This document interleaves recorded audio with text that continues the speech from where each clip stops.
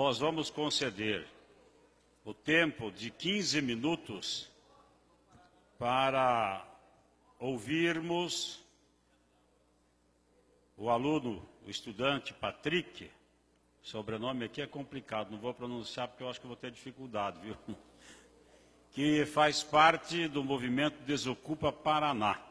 E na época, na, na sequência, o professor Gilmar. Então nós daremos aí sete minutos e meio para o Patrick e sete minutos e meio para o professor.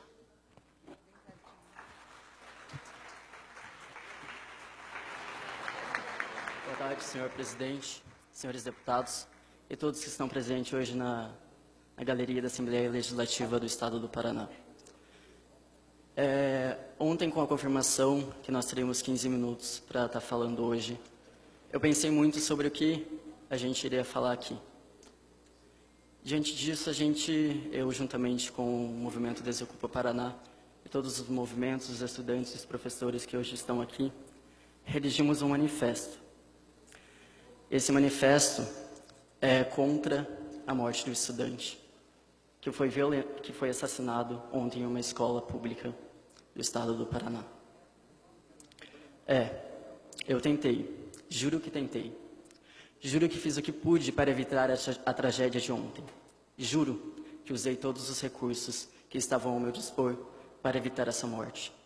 Falei com a imprensa, falei com as autoridades, denunciei o que estava acontecendo das escolas invadidas, inclusive o uso de drogas. E percebo que foi pouco que fiz. Nesta noite, fiquei pensando: onde foi que eu errei? Onde que não me fiz entender? Qual foi a porta que faltou bater para evitar que a vida de um jovem fosse desperdiçada? Quebrei o silêncio, dei a cara a tapa, sofri represálias e ameaças. Mas tudo teria válido a pena se a morte do estudante tivesse sido evitada. Se uma família não estivesse hoje chorando. Então, onde foi que eu errei? Por que não pude evitar todo esse sofrimento aos paranaenses? Só consegui, só consegui dormir ao perceber que a culpa dessa morte não é minha. A culpa dessa morte, os responsáveis por aquela calçada manchada de vermelho, pelo sorriso de um jovem nunca mais ser visto por sua mãe, é das pessoas que organizaram e apoiaram essa ridícula ocupação das escolas. Sim, a verdade é apenas essa. As pessoas que organizaram e apoiaram as invasões não são os assassinos, mas são os responsáveis por um assassinato. Os, pro... Os professores que doutrinam crianças em nome de uma ideologia fálida. Os líderes estudantis que promoviam greves apenas para criarem fatos políticos e usando estudantes como massa de manobra. Todos eles são responsáveis pelo, fi... pelo fim do sorriso de um estudante. Só que para eles, para essas pessoas, uma morte não passa de uma baixa, apenas mais uma morte pela causa maior do socialismo. Sei perfeitamente que alguém vai alegar. Sei perfeitamente que alguém vai alegar que foi um caso isolado, que foi uma briga entre dois drogados, que tanto o assassino como o assassinado são vítimas da sociedade. Mas será que ninguém percebe que são são vítimas sim da sociedade? São vítimas de uma sociedade criada através da partidarização das escolas, de uma sociedade criada onde só teriam direitos e jamais deveres.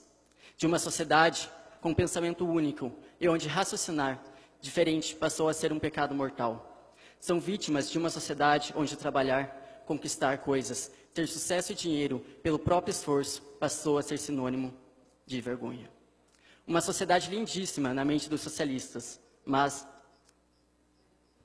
que aqui no mundo real é muito diferente. Sim, Sim, senhores deputados. Em, em uma última análise, a verdade nua e crua é essa. Todos aqueles que por ação, no caso do aqui, trabalharam em prol dessa famigera ocupação, como a APP Sindicato, a UNE, a UPES, ou por omissão, no caso de que viram as ocupações acontecendo e não fizeram nada, como o Ministério Público e o Conselho Tutelar.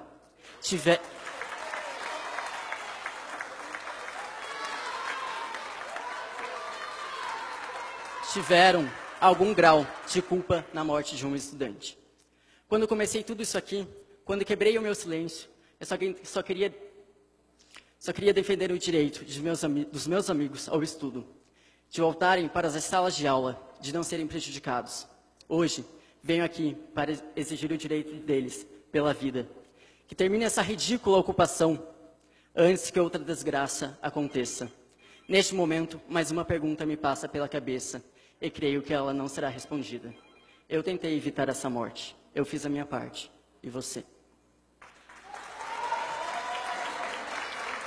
Eu gostaria de pedir aos deputados que escutem a voz da sociedade, escutem a voz dos estudantes, dos professores que são contra as invasões das escolas.